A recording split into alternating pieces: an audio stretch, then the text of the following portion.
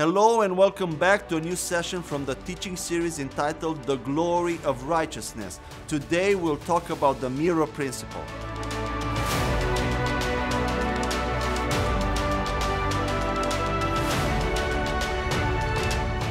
We are still in the second big chapter of this series of teaching entitled Cleansing the Conscience of Sins. And in this session, we will continue our discussion about the mind renewal process.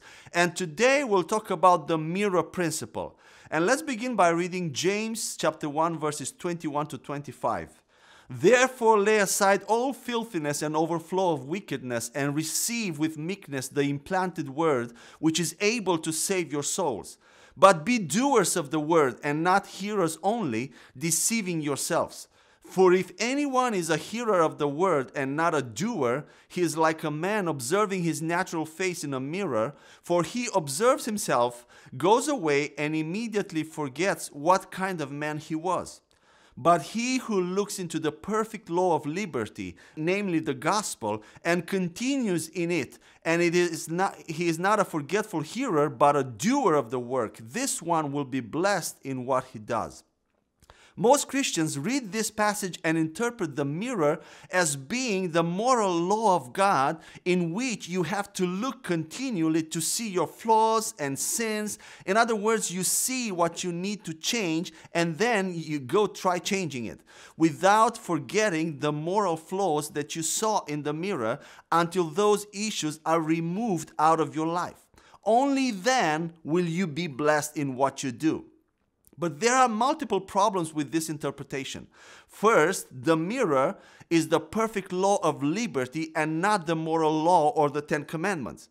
What is the perfect law of liberty? The perfect law of liberty is the gospel or the word of His grace. The perfect law of liberty is the law of the Spirit of life in Christ Jesus. Romans 8, verse 2 tells us that. That law stipulates that we are dead to sin, Romans 6:11, and no longer under sin's dominion, Romans 6:14. That God loves us, that we are joint heirs with Christ, Romans 8:17. That all possible blessings are already established and granted to us in the heavenly places, Ephesians 1 verse 3. That even when we sin, we are not condemned anymore, Romans 8 verse 1. That we have power to live in holiness, 1 Corinthians 10:13, Philippians 4:13 13 that we have been healed 1 peter 2.24 that we are a success psalm 1 verse 3 that we are prosperous 2 corinthians 8 9 victorious romans 8.37 above failure and protected. This is the gospel and the perfect law of liberty that we need to be doers of meaning believing those things and walking in them in the New Testament, the act of doing the word is believing the word about you and acting accordingly. The act of doing the word is not obeying a set of moral rules like in the Old Testament, but in the New Testament, you will not be blessed because you obey the moral law. Obedience is no longer a condition for God to bless you like in the Old Testament. You are blessed regardless of your level of obedience. The more you believe the word of grace about the perfect being that you have become in your spirit, the more grace is released in your life and the more blessings manifest themselves from the inside out into the material world. When you come to realize how blessed you are, then the blessing begins to flow in everything you do. You are blessed even before you believed it. Once you have come into Christ, you are blessed. But when you believe that you have been blessed, that blessing starts manifesting in your life physically and emotionally. Notice in the passage that we read that verse 21 says that the word is already implanted in you and able to save your soul. What does that mean? It means that your new spirit is the word itself because it has, you, it has been born of the incorruptible seed of the Word of God, 1 Peter 1, verse 23. And consequently, you have become the Word of God in your spirit. That Word is just locked inside of you and blocked by your mind. But when you look in the mirror of the Word, you see yourself, meaning the Word. When your mind receives the revelation of who you really are inside and accepts it by believing it, that's when you begin putting flesh to the Word inside, the same way Jesus was the incarnated Word. That is the moment when you bring the Word out and manifest it to make your soul immune to the works of darkness on this earth. The works of darkness are sickness, depression, confusion, lack of peace and joy, failure, anger, lack of wisdom, etc. This is how your soul is saved by the implanted Word of God in you.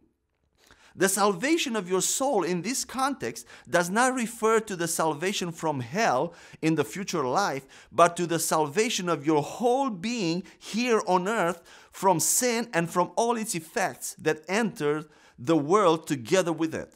Renewal of the mind is not refreshing your mind with the moral law of God or the Ten Commandments, but the, mor- the moral law of God has already been written into your conscience since you were born on this earth. We know good and evil because of the fall. We don't need to refresh the, that knowledge because it's already in us and in all people. That's why you have moral people that have never been born again and neither heard or tried to keep the Ten Commandments, yet behave at the highest moral standards and sometimes better than some born again believers. That is why you have Greek Orthodox and Catholic people that are mostly not born again going regularly to confess their sins to the priests. The conscience is always at work, working in everyone, either we like it or not. And it doesn't need our help. Renewal of the mind means to renew your thinking about your new identity and nature, to focus on and meditate on that and be aware of that new identity. The new identity is not something obvious to the physical eyes, but something that you need to behold with the eyes of the Spirit and refresh your mind with it constantly. Your new nature is what you should not forget about and be doer of. Then your soul, your mind, will, conscience, and emotions and body will be transformed in, into and aligned to the same image of Christ in which your spirit has already been reborn. In the mirror, you don't see your old self, the sinner, or your sinful deeds. Instead, you see Christ, who is glory, who is the Word of God incarnated, and that's who you are as well in Him. 2 Corinthians 3, verses 17 to 18 is also a passage about the mirror that goes along here, and it says this Now the Lord is the Spirit, and where the Spirit of the Lord is, there is liberty. But we all, with unveiled face, beholding as in a mirror the glory of the Lord, are being transformed into the same image from glory to glory, just as by the Spirit of the Lord. The way to be transformed into the image of the Lord is to behold the glory of the Lord, that is, to focus on who Christ is in you and who you are in Christ. You do this by reading and meditating on the Word of God and by listening to sermons and biblical teachings. This is how you look into the perfect law of liberty and see who you are and who you have become the very glory of the Lord. The new creation is no longer fallen short of the glory of God as Romans 3:23 says. That is the state of unbelievers. The new creation in Christ is the fullness of the glory of God here on earth. John 1:16, John 17 verse 22. Most of the times, believers read the Bible with an Old Testament perspective instead of reading it with a New Testament mindset. They read the New Testament in the light and through the lens of the Old Testament rather than reading the Old Testament in the light and through the lens of the New Testament. The grace and the glory that came after Jesus' death and resurrection are the culmination of the entire Bible. Everything else is included in that grace as an intermediate stage to the unfolding final plan of grace. I mean, the election of one man, Abraham, the election of one nation, Israel, the giving of the law, and the period of the prophets. Those were shadows of the real to come. God had to announce the birth of Jesus and what he was going to accomplish at the cross through the mouths of his prophets so that he would have man's authority to bring Jesus on earth. That's a subject for another session. That is probably why it took hundreds and thousands of years until the promises about the seed of Christ given to Eve and to Abraham came into being. In the same time, God had to be very cryptic in those announcements so that the devil and the princes of this world would not understand his secret plan of salvation. Otherwise, the Bible says that they would have never crucified the Lord of glory in 1 Corinthians chapter 2 verse 8. Can you imagine that? The devil would have never crucified Jesus if he knew that by one man's death, more sons of God like him would come into being. God had to work in the Old Testament in stages to reveal his plan progressively and carefully, but grace is what unifies and makes sense of all those phases together.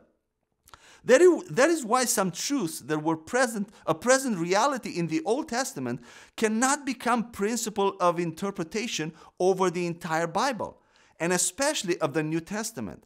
It is rather the other way around. The New Testament has to interpret the Old Testament.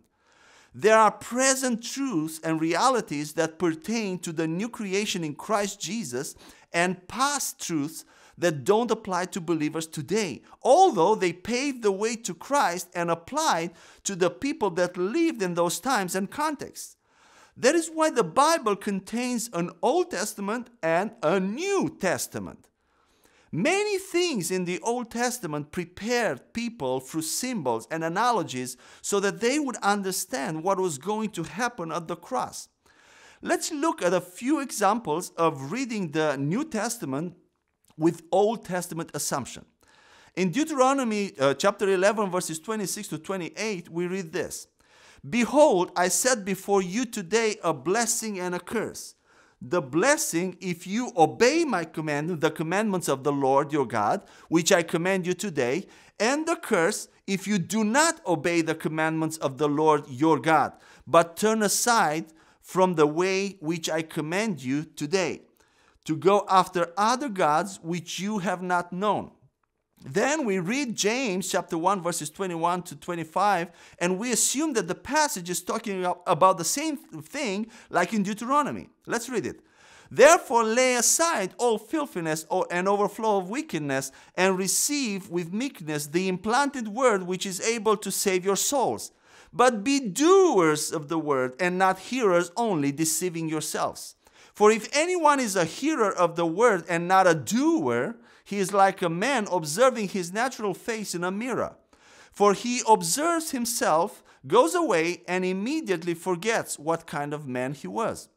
But he who looks into the perfect law of liberty and continues in it is, and is not a forgetful hearer, but a doer of the work, this one will be blessed in what he does. The general past truth revealed in, in the Deuteronomy passage that we just read as well as in many other places in the Old Testament, uh, is this. If you obey God's commandments, namely the law, God will bless you.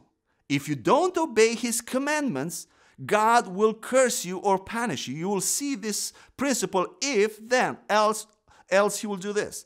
The general present truth revealed in, in the James passage we've just read, as well as in many other places in the New Testament, is this God has already blessed you and made you holy by faith in the spirit in the spirit realm, independent of your obedience and deeds. Now go and do the things pertaining to your new nature, and you, not God, will convert the spiritual blessings into earthly, uh, into earthly ones. Another example, in the Old Testament, the power of God and the Holy Spirit came down to help God's people from time to time and would remain with them for a while as long as the people obeyed the law or humbled themselves with fasting and praying, they had to implore and beg God to come help them in their battles through their obedience and fasting.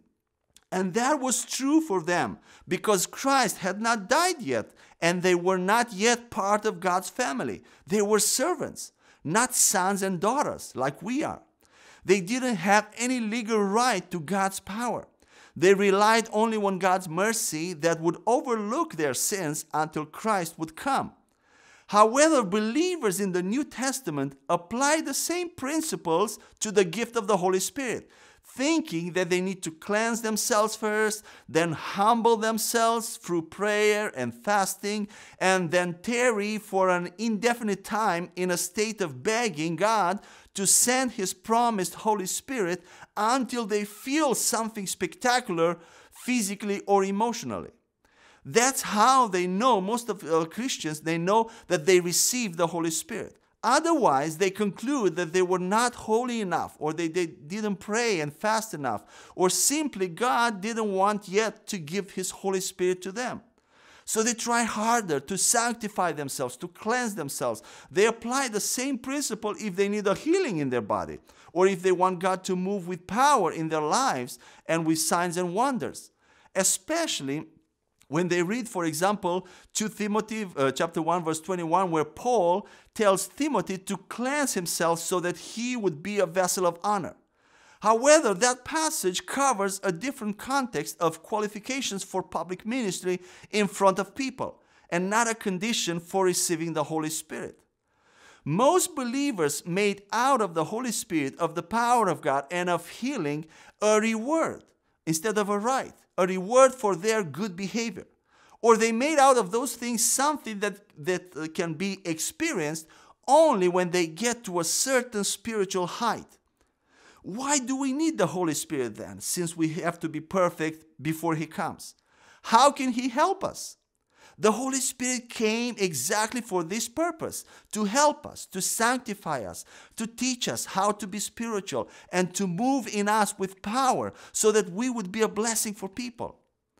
Many Christians even believe that depending on their obedience, the Holy Spirit comes and goes as he did in the Old Testament based on what King David said in Psalm 51, verse 11 Do not cast me away from your presence, and do not take your Holy Spirit from me. The first truth that is a past reality in this example is that in the Old Testament, God would do everything for his people as a response to their obedience to the law and as a response to prayer and fasting. The present truth is that God has already given His people everything that they need freely and by faith. He gave His Son, His Word, His Holy Spirit, and His fullness of power. And now His people must use by faith what they have and have been given. Neither God nor Jesus are moved or respond in any way because of believers' level of sanctification or because of their fasting. Fasting doesn't move God, it moves us. It moves us. Jesus sat down at the right hand of God after he finished his work, Hebrews 10 12. And he now waits for believers to bring all the enemies of sickness, poverty, and addictions under his feet in their own lives and in the lives of other people. Another past reality is that in the Old Testament, the Holy Spirit would come only partially and temporarily over some people to accomplish certain tasks based on their obedience. The present truth is that the Holy Spirit is received in its fullness and without measure. John 3:34, John 20, 20 verse 21. By any born again person through a simple prayer of faith, exactly like salvation. The Holy Spirit is the gift that God wanted to give freely to his people all along, ever since Abraham. The Holy Spirit is the blessing of Abraham, Galatians 3:14. And that is why Jesus had to die first so that the new creations would have the right to receive the Holy Spirit. Moreover, in John 14, verse 16, Jesus said that once the Holy Spirit came, he would be with the believers forever without specifying any conditions. Finally, we see God in the Old Testament sending sickness sometimes, curse, or calamity over his people because of their transgressions, as he promised in Deuteronomy 28. But then believers come to Hebrews 12, where they read about the so called discipline of the Lord, and conclude that God still punishes his children sometimes with sickness or curse, or he allows it so that he would discipline them, teach them something, or force them to come back from their wicked ways. However, the present truth in the New Testament is that God can never send or allow sickness and curse on his children because of their wrong ways. Believers are the ones allowing those things through their unbelief. According to Galatians 3:13, Christ became a curse for all humanity's wrongdoings and took all curse and sickness on him. 1 Peter 2:24. Does God allow some people to not be saved and go to hell? Of course not, but they allow it themselves through their unbelief. Moreover, it is, a, it is His Holy Spirit who teaches believers all things and guides them into all truth. John 14, 26, John 16, verse 13, 1 John 2, 27. Rather than the devil's tools. Uh, the, uh, and then we have scripture that is inspired by God to teach, reprove, correct, and train in righteousness those who are in Christ. 2 Timothy 3:16, and not calamity and curse. Now let's look at a few examples of how to read the Old Testament with a new creation mindset. Proverbs 8:18 says this: Riches and honor are with me, meaning wisdom, enduring riches and righteousness. We know from King Solomon's life how wisdom brought him riches and honor. However, in the New Testament, we see that Christ has become wisdom from God for the new creation. 1 Corinthians 1:30. That the new creation has the mind of Christ right now. 1 Corinthians 2:16. And that in Christ are hidden all the treasures of wisdom and knowledge. Colossians 2, verse 3. With that perspective in mind, now we can understand that if we are in Christ, we are way more advantaged than King Solomon because we have access to all the treasures of wisdom and knowledge, and consequently, we can experience enduring riches and honor in our lives. And this is a sure promise. Then we have Proverbs 18, verse 21, where we, that says, Death and life are in the power of the tongue, and those who love it will eat its fruit. With the New Testament knowledge, we know that we can alter the course of our life for the better through words that we say by faith, which are aligned to the word of grace. Likewise, we can change the course of our lives when we also allow the rivers of living water to flow freely through our mouth by speaking and praying in tongues. We see that in John the 7 verse uh, 38, James 3 2 to 7. With a New Testament mindset, now we know that it matters what we believe and what we speak with our mouth, and that death and life are indeed in the power of the tongue. So today we finalize the topic of mind renewal and in our next session we'll talk about what is righteousness. Exciting session. But until next time may you walk in perfect peace and joy through the Holy Spirit. Amen.